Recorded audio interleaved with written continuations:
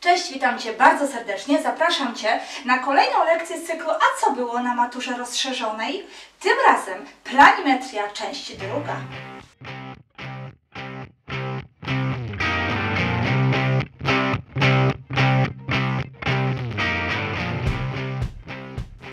A więc brniemy dalej w zadania z planimetrii, czyli zadania z geometrii płaskiej z matematyki na poziomie rozszerzonym. Mam nadzieję, że te przykłady, które przygotowałam na to spotkanie, pozwolą Ci jeszcze lepiej przygotować się dzięki temu do matury. Zapraszam. Zadanie numer jeden to zadanie z arkusza maturalnego czerwiec 2019 rok. Zadanie dziesiąte za 4 punkty. Miara kąta wewnętrznego n kąta foremnego jest o 2 stopnie mniejsza od miary kąta wewnętrznego n plus 2 kąta foremnego. Oblicz n. Przygotowałam tutaj rysunek e, wielokąta, w zasadzie sześciokąta. Ja nie wiem, czy to jest sześciokąt, czy to jest siedmiokąt na razie, czy dziesięciokąt, czy dwunastokąt, ale no, chcę Ci pokazać, jak fajnie szybko nauczyć się e, na, zapisać wzór na to, jak policzyć miarę n kąta foremnego. Wiem, że foremny to znaczy, że wszystkie e, tutaj boki ma równe. Ja tutaj przykładowo zaznaczę oczywiście na tym moim sześciokącie.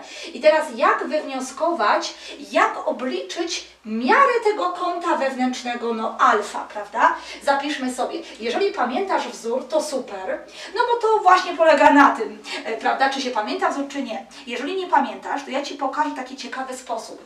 Wybierasz sobie wierzchołek i teraz tworzysz z tego wierzchołka wszystkie możliwe trójkąty, prowadząc przekątne, czyli tutaj ale żeby były trójkąty z tego wierzchołka, żeby było poprowadzone, prawda? Tu mamy trójkąt, tu mamy trójkąt i tu mamy trójkąt, prawda? Oczywiście chodzi mi o to tak, żeby mój sześciokąt w tym wypadku został podzielony na trójkąty, ale żeby wyjść z jednego wierzchołka umownego, jakieś, jakaś niech będzie duża literka A. I teraz popatrz, ile tych trójkątów mamy? 1, 2, 3, 4.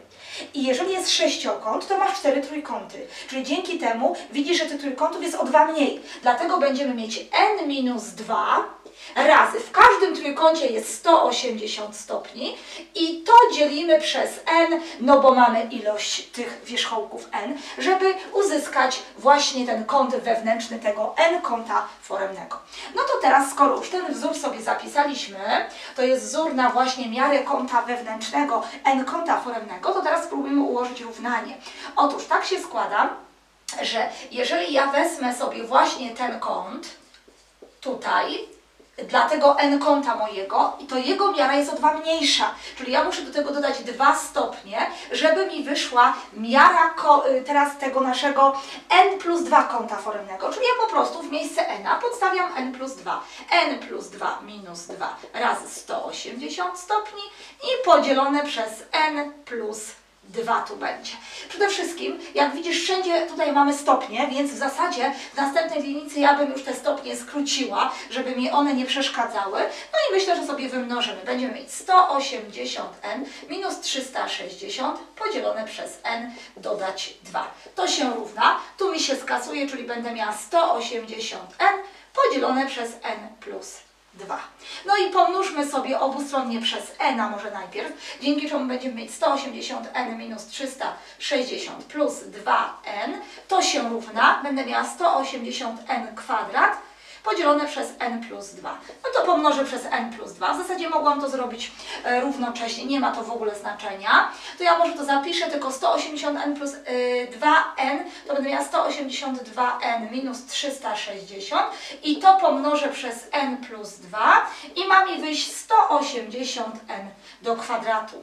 No to wymnażamy 182n kwadrat minus 360n, tutaj każdy z każdym, dodać tu będziemy mieć 364n, jak pomnożę oczywiście razy 2 i minus 720, to się równa 180n kwadrat. Przerzucam wszystko na jedną stronę, czyli mam 2n kwadrat. Yy, tu będziemy mieć plus 4 n oczywiście minus 720 równa się 0, podzielę przez 2, czyli mam n kwadrat plus 2n minus 360 równa się 0. Wychodzi nam nasze kochane równanie kwadratowe, pewnie nie dziwota, prawda, że takie wychodzi. Potrzebujemy policzyć deltę, czyli delta to się będzie równało b kwadrat, czyli 4 minus razy minus da mi plus i od razu może pomnożę 360 razy 4 Y, będziemy mieć tutaj, jak pomnożymy sobie 1440, to się równa 1444. Spierwiastkujmy naszą deltę, policzmy sobie właśnie y, pierwiastek teraz z 1444. To się równa 38. No i teraz n1 to się równa minus b, czyli minus 2 minus 38 podzielone przez 2, no to wychodzi nam minus 20. Oczywiście, że jest to sprzeczność, prawda? No bo logiczne, że e, musimy mieć tutaj ilość e, kątów, ilość boków tego wielokąta, jakkolwiek na to popatrzymy, liczbą dodatnią naturalną. Y, nawet tutaj możemy dopisać założenie, żeby w ogóle był wielokąt, to n nie dość, że musi być naturalne, to jeszcze musi być większe lub równe 3. No bo umówmy się, że najmniejszym tym możliwym wielokątem jest trójkąt, później jest czworokąt, pięciokąt, sześciokąt i tak dalej, i tak dalej. No to n2 to się równa minus 2, dodać 38, podzielone przez 2, czyli mamy 36, podzielone przez 2 to jest 18. Naszym zadaniem było policzyć właśnie n. No i to jest jakby odpowiedź do naszego zadania. n wynosi 18, czyli jest to 18-kąt. Zadanie numer dwa to zadanie z arkusza maturalnego, czerwiec 2018 rok, zadanie szóste za trzy punkty. W trójkącie ABC kąt BAC jest dwa razy większy od kąta ABC. I tyle. Wykaż, że prawdziwa jest równość długość BC do kwadratu minus długość AC do kwadratu równa się długość AB razy długość AC. Oczywiście ja zapisałam to, co najważniejsze w założeniu, że kąt BAC jest dwa razy większy od kąta ABC, ale rysunek to jest podstawa, no bez rysunku ani rusz. Więc narysowałam trójkąt i chciałam, żeby to było widać, że ten kąt BAC, czyli ten kąt jest no większy przede wszystkim. Tutaj chodzi o to, że dwa razy większy, ale żeby na rysunku było widać, że on jest większy od tego kąta ABC. Ten nazwę alfa, to ten będziemy mieć 2 alfa. I tutaj w założeniu można to zapisać, czyli kąt ABC to jest alfa, więc kąt CAB to się równa 2 alfa. Jeszcze bym chciała wprowadzić e, takie oznaczenia, że byłoby mi wygodnie zapisać inaczej lekko zmodyfikować tą tezę. Naprzeciwko wierzchołka A niech będzie bok długości małe a, naprzeciwko wierzchołka B bok długości małe b i na wierzch naprzeciwko wierzchołka mm, C bok długości małe c. I tu sobie możemy też zapisać, że AB to jest C, długość AC to jest B i długość B C to jest A.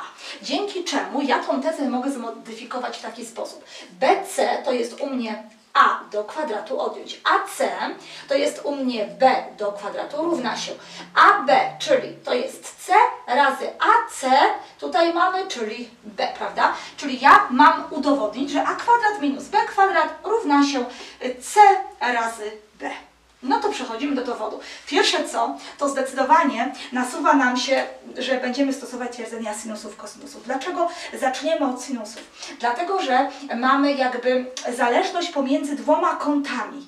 Że to jest alfa, to jest 2 alfa, więc pierwsze co, nasuwa się twierdzenie sinusów, więc zapiszmy sobie, że stosujemy twierdzenie sinusów.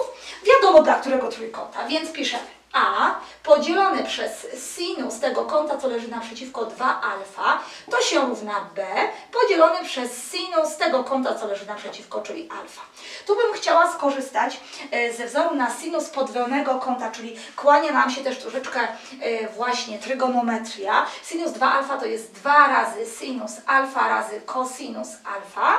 No i to się równa b podzielone przez sinus alfa. Jak ja obustronnie pomnożę przez sinus alfa, mogę pomnożyć, e, prawda, bo sinus w pierwszej czy w drugiej ćwiartce jest oczywiście liczbą dodatnią, więc nie ma problemu tutaj z tym zerem. Zresztą no, nie, mo nie mógłby zachodzić taki warunek b podzielony przez sinus alfa, gdyby sinus alfa wynosił 0, więc tutaj y, tylko to przegadałam, ale w zasadzie nic nie muszę zapisywać i mam a podzielone przez 2 Kosinus alfa to się równa b. Mogę napisać nad 1. No i dzięki czemu będę miała 2 kosinus y, alfa razy b równa się a. Myślę, że kosinusa z tego wyliczymy, czyli podzielimy przez 2b i dochodzimy do wniosku, że kosinus alfa to się równa a podzielone przez 2b. No, kosinus alfa będzie nam potrzebny, bo na pewno przypuszczasz, że teraz będziemy stosować twierdzenia kosinusów. Tylko zastanówmy się, dla którego kąta. Ja myślę, że i dlatego, i dlatego trzeba będzie. Zaczniemy oczywiście tutaj od y, tego y, kąta alfa, może zapiszę kolorem b kwadrat, to się równa a kwadrat plus c kwadrat minus 2ac razy kosinus alfa. No i myślę, że tutaj wygodne byłoby w miejsce kosinus alfa podstawić nam a podzielone przez 2b, skoro nam to wyszło wcześniej. Czyli b kwadrat to się równa a kwadrat plus c kwadrat minus 2ac razy a podzielone przez 2b.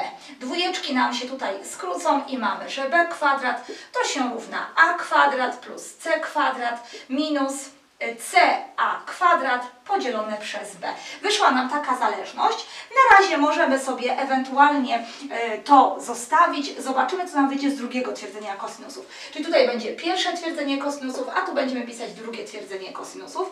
Czyli teraz a kwadrat to się równa b kwadrat plus c kwadrat minus 2bc razy kosinus 2 alfa. No i znowu kłania nam się teraz y, trygonometria, ponieważ kosinus 2 alfa, może tutaj na boku zapiszemy, kosinus 2 alfa to się równa. Kosinus kwadrat alfa minus sinus kwadrat alfa, tylko ja już bym wolała przejść na jedną tylko funkcję trygonometryczną, czyli konsekwentnie przepiszę kosinus kwadrat alfa minus, a tu podstawię jedynkę trygonometryczną, czyli 1 minus kosinus kwadrat alfa, zastosuję, prawda, tą jedynkę trygonometryczną, czyli tutaj jak pozbędę się nawiasu, to będę miała 2 cosinus kwadrat alfa minus 1. Zresztą w tablicach maturalnych możesz od razu taki wzór właśnie zauważyć i od razu go podstawić. No to podstawiamy. a kwadrat to się równa b kwadrat plus c kwadrat minus 2bc razy i teraz podstawimy sobie 2 cosinus kwadrat alfa minus 1. No to skoro tak, to mam a kwadrat to się równa b kwadrat plus c kwadrat minus 2bc razy i teraz dwa razy kosinus kwadrat alfa, czyli to podnoszę do kwadratu a kwadrat podzielone przez 4b kwadrat minus 1. No to nam się tutaj lekko coś tam skróci, no i wymnażam, czyli będę miała a kwadrat równa się b kwadrat plus c kwadrat minus 2bc i teraz będę miała razy a kwadrat przez 2b kwadrat, tak? I jeszcze minus razy minus da mi plus 2bc. No to tutaj też, co mogę skrócić? Tą dwójeczkę z tą dwójeczką b z tym b i zapiszmy, co nam zostało. a kwadrat to się równa b kwadrat plus c kwadrat plus 2bc napiszę z tej strony. No i tu będę miała minus a kwadrat c podzielone przez b. Jak widzisz, mam tutaj ten człon taki sam jak ten człon, widzisz? Mamy CA kwadrat, a tutaj też mam CA kwadrat w liczniku. Mam B w mianowniku, tutaj też B mam w mianowniku. No na minusie też mamy, więc warto by było może właśnie ten człon przenieść na tą stronę, czyli będę miała CA kwadrat przez B, to się równa A kwadrat plus C kwadrat minus B kwadrat. O takie mi wychodzi. Tak samo jak ja to przerzucę, to będę miała CA kwadrat przez B, to się równa b kwadrat plus c kwadrat plus 2bc minus a kwadrat. No to skoro tak, no to teraz ja to mogę porównać. Mogę to porównać, no bo przecież yy, yy, to jest dokładnie równe temu, więc tak samo prawe strony będą równe, czyli piszemy a kwadrat plus c kwadrat minus b kwadrat równa się b kwadrat plus c kwadrat plus 2bc minus a kwadrat. No to popatrzmy, fajnie by było teraz wszystko poprzerzucać yy, odpowiednio na strony, żeby nam do tej tezy było podobne, czyli te kwadraty poprzerzucamy, czyli będę miała tak a kwadrat i tu przerzucę, czyli będę miała 2a kwadrat, tu mam mm, c kwadrat i c kwadrat mi się w ogóle skasuje, minus 2b kwadrat jak przerzucę, będę miała równało, będzie mi się 2bc. Podzielę przez 2, i mam a kwadrat minus b kwadrat równa się bc. A właśnie to kończy mój dowód, bo to miałam udowodnić, że a kwadrat minus b kwadrat to się u mnie równa bc. Zadanie numer 3 to zadanie z arkusza maturalnego czerwiec 2018 rok. Zadanie 12 za 5 punktów. Trapez prostokątny ABCD o podstawach AB i CD jest opisany na okręgu. Ramię BC ma długość 10, a ramię AD jest wysokością trapezu. Podstawa AB jest dwa razy dłuższa od podstawy CD. Oblicz pole tego trapezu. Rysunek warto wykonać tak, żeby było widać, że jest trapez prostokątny, czyli tutaj kąty proste i żeby było wiadome, że on jest opisany na okręgu, czyli inaczej okrąg jest wpisany w ten trapez. Od czego powinniśmy zacząć? Od tego, żeby zaznaczyć to, co jest dane na rysunku, czyli BC ma długość 10, y, AD to jest wysokość trapezu, oznaczmy sobie H i jeszcze zapiszmy, że AB, podstawa, jest dwa razy dłuższa od CD. Czyli jeżeli CD nazwę X, to ta podstawa AB będzie miała długość 2X. No to skoro tak, to teraz fajnie by było poprowadzić jeszcze wysokość, to nasze H, tylko z wierzchołka C. Zaznaczmy sobie H. Dlaczego? Dlatego, że popatrz, jak poprowadzimy wysokość, to ten odcinek odtąd dotąd to jest X, prawda? Bo to jest zrzutowane. Czyli to znaczy, że ten odcinek odtąd dotąd to też musi być X, no bo razem jest 2X. Więc jak y, znajdziemy zależność na H, to później twierdzenie Pitagorasa zastosujemy. No i dzięki czemu wyznaczymy X, wyznaczymy H, no i policzymy pole. A więc czego jeszcze nie stosowaliśmy w tym zadaniu? Bardzo ważnej informacji, że w ten trapez można wpisać okrąg, a jest twierdzenie, które mówi o tym, kiedy w czworokąt możemy wpisać okrąg, jeżeli, jeżeli sumy przeciwległych boków są równe. Czyli to oznacza, że skoro on, ten trapez jest opisany na okręgu, to z tego wynika, że sumy przeciwległych boków są równe, czyli x dodać 2x równa się h dodać 10. No i teraz z tego wyliczymy h, czyli h to będzie 3x i tu przerzucę dziesiątkę, czyli minus 10. Dzięki czemu mogę zastosować teraz śmiało już twierdzenie Pitagorasa dla zaznaczonego na rysunku przeze mnie trójkąta. Czyli będziemy mieć h kwadrat dodać x kwadrat równa się 10 kwadrat. Czyli 3x minus 10 do kwadratu dodać x kwadrat równa się od razu 100. 9x kwadrat stosujemy wzór skróconego mnożenia, minus podwojony, czyli będziemy mieć 60x, dodać 100, dodać x kwadrat, to się równa 100. Akurat tak fajnie wyszło, że te setki nam się skasują i będę miała 10x kwadrat minus 60x równa się 0. Podzielę przez 10 i dochodzę do wniosku, że x kwadrat minus 6x równa się 0. Wyciągam x przed nawias i będę miała w nawiasie x minus 6 równa się 0. I teraz kiedy z iloczynu może wyjść 0? Wtedy, kiedy x będzie zerem albo ten drugi czynnik będzie zerem, czyli x będzie szóstką. Oczywiście, wiadoma sprawa, że x równe 0 być nie może, piszemy sprzeczność, Jasne, patrzmy na nasz rysunek.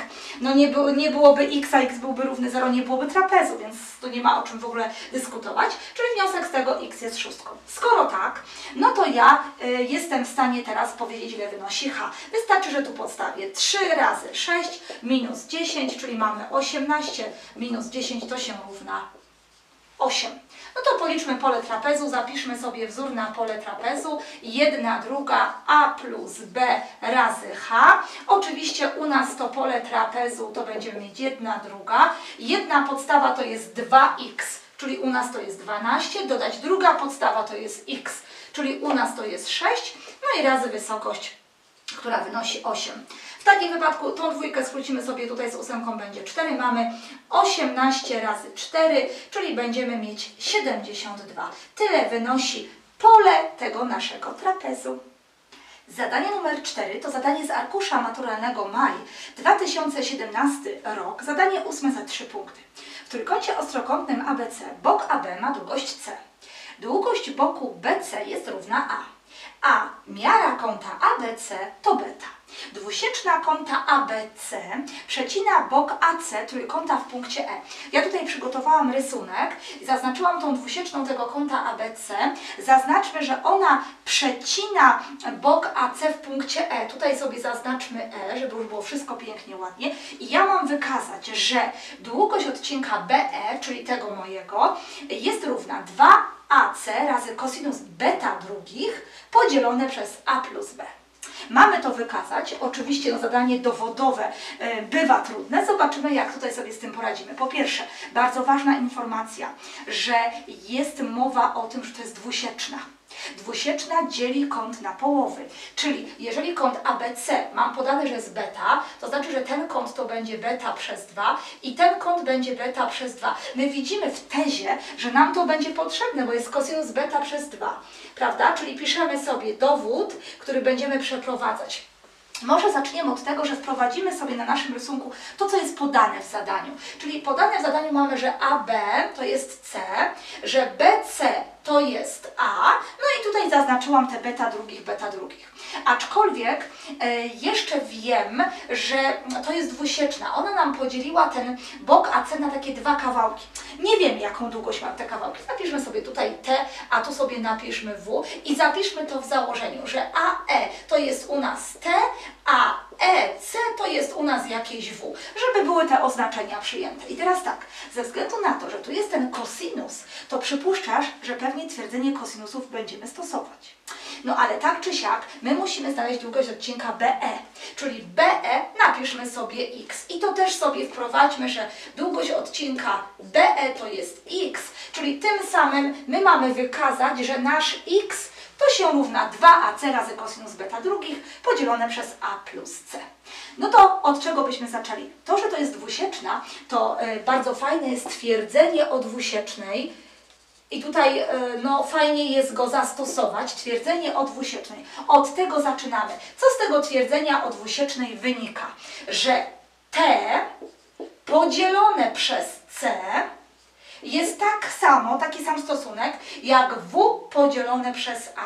Jak W podzielone przez A, czyli T przez C równa się W przez A dzięki czemu mogłabym jedną literkę wyliczyć. Na przykład pomnożymy na krzyż, czyli będziemy mieć WC równa się A razy T. Wyliczę W, podzielimy przez C, czyli W to się równa AT przez C. I teraz dlaczego ja W liczę? No bo wiesz, W, y, T i X to są moje oznaczenia. Natomiast y, C i A i kąt beta były podane w treści, więc ja no chciałabym się tych moich literek pozbywać. Dlatego ja liczę teraz to W. Ok, na pewno twierdzenie kosinusów będziemy też stosować. Twierdzenie kosinusów i tak się składa, że z twierdzenia y, kosinusów może zaczniemy od tego tutaj trójkącika, prawda? Tego, bo tutaj mamy dwa trójkąty. Ten trójkącik, jak widzisz, zamalowany na czarno i ten trójkącik, który zamaluję sobie na y, czerwono. Myślę, że będziemy stosować i z jednego, i z drugiego twierdzenie kosinusów będziemy stosować. Ale najpierw jedno. Twierdzenie kosinusów możemy zastosować dla trójkąta, dopisać ładnie dla trójkąta ABE.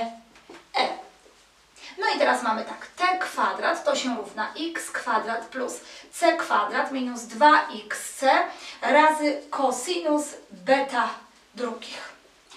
Dobrze, no to teraz spróbujmy też twierdzenie kosinusów dla trójkąta EBC. I co z tego twierdzenia kosinusów nam wyniknie? Że w kwadrat to się równa a kwadrat plus x kwadrat minus 2ax razy kosinus beta drugich. Skoro tak, to popatrzmy. Właściwie to my W mamy wyznaczone, więc to W pasowałoby w to miejsce podstawić. Będę już tu kontynuowała. Czyli będę miała AT przez C i to do kwadratu równa się a kwadrat plus x kwadrat minus 2ax razy kosinus beta drugich. No to podnoszę do kwadratu a kwadrat, t kwadrat podzielone przez c kwadrat równa się a kwadrat plus x kwadrat minus 2ax razy kosinus beta drugich. No t kwadrat to jest też ta moja literka, a ja za t kwadrat mogłabym podstawić stwierdzenia kosinusów to. Tylko, że ja najpierw pomnożę obustronnie przez c kwadrat. Czyli będę miała tak a kwadrat t kwadrat to się równa a kwadrat c kwadrat plus x kwadrat c kwadrat minus 2a c kwadrat x kosinus beta drugich. No to teraz podstawię sobie, czyli pod to t kwadrat podstawię to u mnie. E, może od razu będę wymnażała, czyli a kwadrat x kwadrat dodać a kwadrat c kwadrat minus 2a kwadrat c będę miała x razy kosinus beta drugich. To się równa a kwadrat c kwadrat przepisuję plus x kwadrat c kwadrat minus 2ac kwadrat x razy cosinus beta drugich. Na pewno możemy tutaj zauważyć, że mamy a kwadrat c kwadrat po tej stronie, a kwadrat c kwadrat po tej stronie, to nam się skazuje i wszędzie, w każdym z tych składników jest x. Podzielę obustronnie przez x, wiadomo, że x nie może być zerem, mogę spokojnie dzielić, czyli mam a kwadrat x minus 2a kwadrat c cosinus, napiszemy tak, beta drugich, to się równa. c kwadrat x minus 2ac kwadrat razy cosinus beta drugich. No i teraz pasowałoby mi tego xa wyliczyć, no bo przecież xa mam właśnie to w tedzie, że x równa się, czyli wszystko co ma xa przenoszę na jedną stronę, czyli będę miała a kwadrat x minus c kwadrat x, to się równa, a tu będę miała 2a kwadrat c razy cosinus beta drugich minus 2ac kwadrat razy cosinus beta drugich. Tu wyciągnę x przed nawias, czyli będę miała a kwadrat minus c kwadrat. Tutaj też wyciągnę przed nawias, na pewno 2ac razy cosinus beta drugich. W nawiasie mi zostanie a minus c. No i podzielę obustronnie przez a kwadrat minus c kwadrat. Y, oczywiście y, tutaj wiadoma jest sprawa znowu, że y, to a kwadrat minus c kwadrat nie może być zerem. Ja to muszę podzielić, prawda, przez liczbę, która oczywiście zerem nie jest. No to skoro tak, to zapiszmy x to się równa 2ac razy cosinus beta drugich razy a minus c podzielone przez, a tutaj od razu zastosuję wzór skróconego mnożenia, żeby mi się skróciło, czyli będę miała, a może kolorem, a minus c razy a plus c. No i tak się składa, że to z tym mi się skraca i będę miała 2ac razy cosinus beta drugich podzielone przez a plus C. I zobaczmy, co my mieliśmy udowodnić. No właśnie, mieliśmy wykazać, że odcinek BE, czyli ten nasz x, to jest 2AC, cosinus beta drugich podzielone przez A plus C, co kończy nasz dowód. Zadanie numer 5 to zadanie z arkusza maturalnego czerwiec 2017 rok. Zadanie ósme za 3 punkty. Miary kątów trójkąta ABC są równe. Alfa to jest miara kąta BAC, beta to jest miara kąta ABC i gamma miara kąta ACB. Punkt S jest środkiem okręgu wpisanego w ten trójkąt, a proste zawierające odcinki AS i BS przecinają boki BC i AC tego trójkąta w punktach odpowiednio D i E. I gotowy był taki rysunek. Wykaż, że jeśli alfa plus beta równa się 2 gamma, to na czworokącie DCES można opisać okrąg. Czyli ja w zasadzie tak, przygotowałam rysunek, tutaj zapisałam, co jest podane w treści i zaznaczone na rysunku i teza. Na czworokącie DCES można opisać okrąg. Zaczniemy może od tego, co jest dane. Po pierwsze, mamy podane, że mamy tutaj takie kąty alfa, beta, gamma. To co wiemy o kątach w trójkącie? No, że ich suma alfa plus beta plus gamma, no to jest 180 stopni, prawda? To jest oczywista sprawa. No ale jeszcze mam podane w założeniu, że alfa plus beta to są 2 gamma. No to co ja mogę za alfa plus beta podstawić? No właśnie 2 gamma podstawię plus gamma równa się 180 stopni. Czyli 3 gamma to jest 180 stopni. Podzielę przez 3, dochodzę do wniosku, że gamma to jest po prostu 60 stopni. Czyli tak mi wyszło, że kąt gamma, ten u góry tutaj, ma miarę 60 stopni. Dobrze. Następna bardzo ważna informacja. Punkt S to jest środek okręgu wpisanego w trójkąt. Teraz uwaga. Y, tu mamy zapisane, że mm, ta półprosta mam AD. Ona, ta półprosta, która przechodzi przez S, przecina ten bok w punkcie D, a z kolei ta półprosta, prawda, przecina ten bok w punkcie E. Ale tak naprawdę, skoro S ma być środkiem okręgu wpisanego, to my mamy wiedzieć, że zarówno AD, jak i BE są to dwusieczne dwusieczne kątów, prawda? Kątów tego trójkąta, no odpowiednich y, y, kątów. To jest oczywiste, bo jeżeli właśnie jest to środek okręgu wpisanego, to żeby wpisać okrąg prowadzi się dwusieczne. I właśnie to są dwusieczne, a one nam przecież przecinają y, te dwusieczne odpowiednio w punktach i one nam dzielą te kąty na połowy no to ten kąt to będzie jedna druga alfa, ten jedna druga alfa, no to ten będzie jedna druga beta, no to ten będzie 1 druga beta. No i to trzeba by było teraz zapisać, prawda? Że z tego wynika, że miara kąta EAS, ten EAS równa się mierze kąta SAB, czyli SAB, możemy tą miarę właśnie tutaj tak zaznaczyć, równa się 1 druga alfa. I analogicznie miara kąta DBS, DBS równa się mierze kąta SBA, SBA równa się 1 druga beta. To będzie dla nas bardzo ważne. Dlaczego? Dlatego, że nas interesuje oczywiście ten czworokąt, ja go zamaluję można czerwono, DC, DCES, ten, ten czworokąt nas interesuje. Ale popatrzmy, my już ten kąt doskonale znamy, 60 stopni.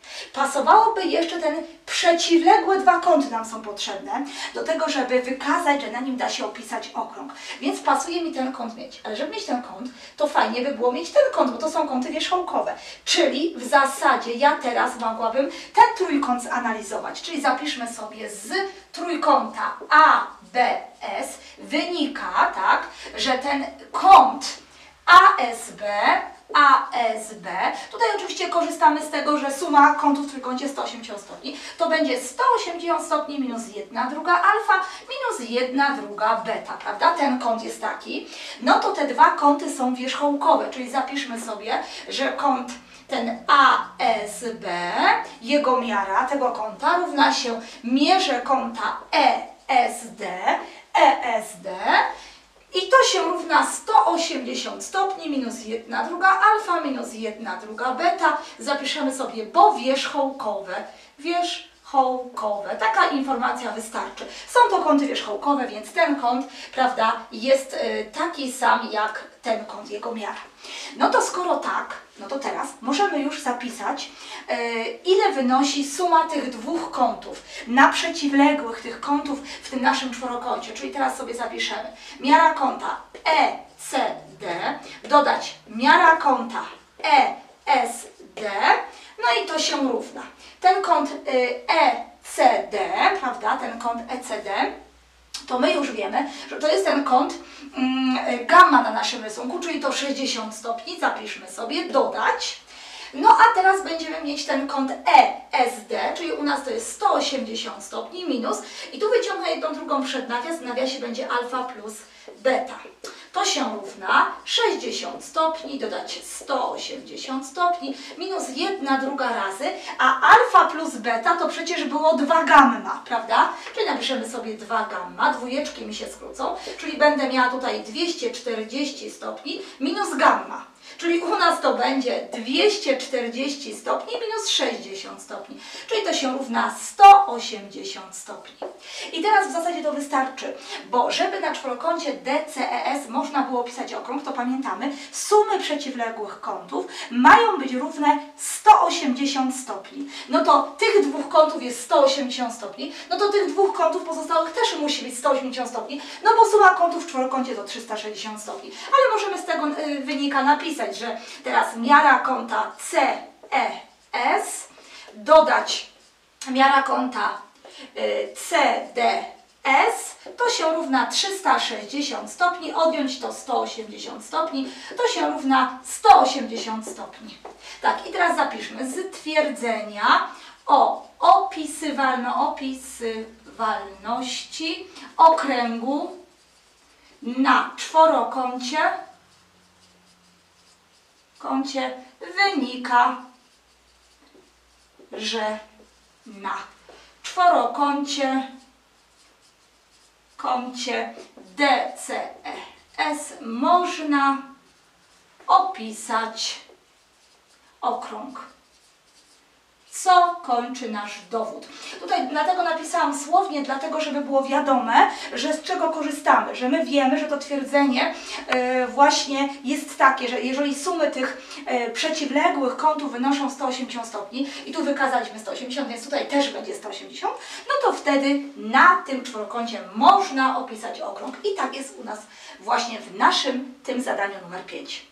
Na to spotkanie przygotowałam pięć zadań. Były to zadania i obliczeniowe, i zadania dowodowe. Mam nadzieję, że zadania ciekawe, że lekcja się podobała, a ja jak zwykle zapraszam na moją stronę internetową ajkamat.pl, na mój kanał na YouTubie, na mojego fanpage'a. No i do zobaczenia na kolejnej lekcji ze mną.